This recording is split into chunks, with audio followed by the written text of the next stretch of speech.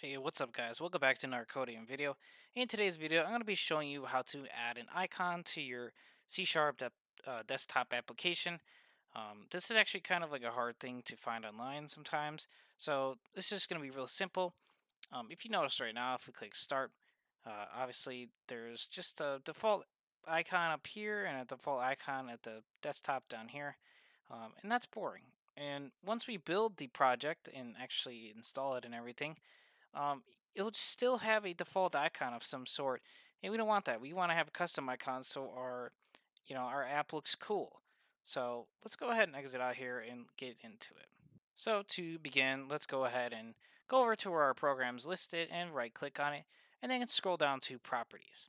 So this is going to open up the properties for your program, and it has a bunch of basic stuff like the name of it and the, which framework it uses and stuff. But what we're worried about is resources right here. So we have our icon and manifest, and don't really worry too much about manifest right now. You can add a custom one, but for this, for the sake of this tutorial, we're only going to worry about the icon.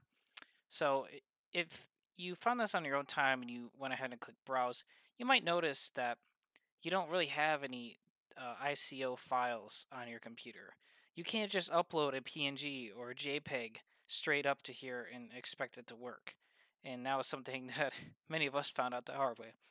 But in order to deal with this, there's plenty of online resources and tools that can help you out. And one of these resources that I found was uh, icoconvert.com. So at first you're like, oh, this is an older website. It could be Sketch, but I reviewed it. I'm not saying that it's perfect, but I've tested it myself, and it does seem to work um, like you'd expect it to.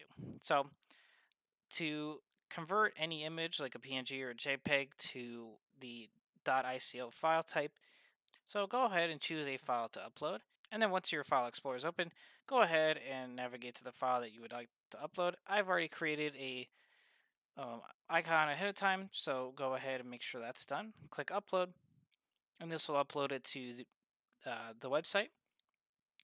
Then it will bring it up here, and you can go ahead and include what you like from the actual icon. So let's just include this.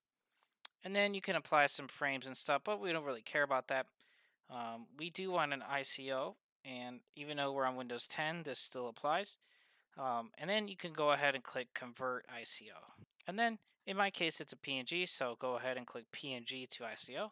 And it'll actually bring you to a different website, which I, I guess uh, they must use a different process for PNGs, but you can go ahead and do the same process here.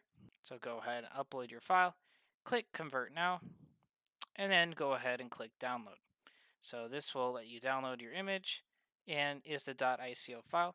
So then we can go back to Visual Studio, go ahead and click browse and navigate to the file that you need.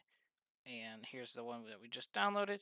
Go ahead and add that and you are good to go. So once you actually deploy your project, this will be the default app icon and the shortcut and everything. So there you have it.